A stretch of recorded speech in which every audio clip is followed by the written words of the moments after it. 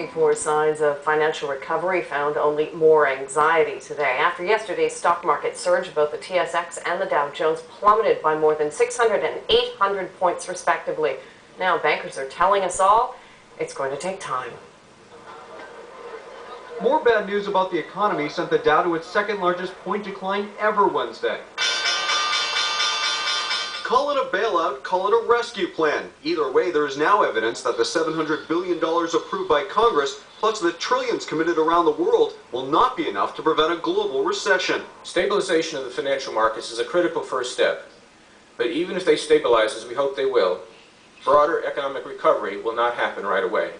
Today, the Federal Reserve reported what most already suspected. Both consumer spending and manufacturing have slowed dramatically across the country.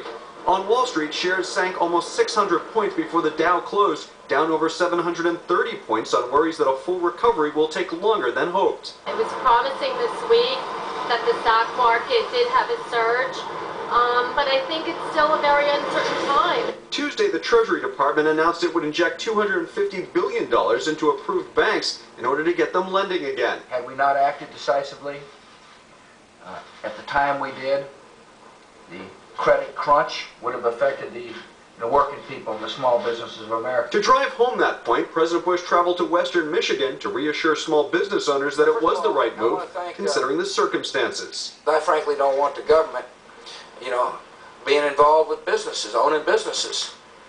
Uh, it's not, I don't think it's good for the country. I, it was necessary that the stock be purchased to help us through this financial crisis.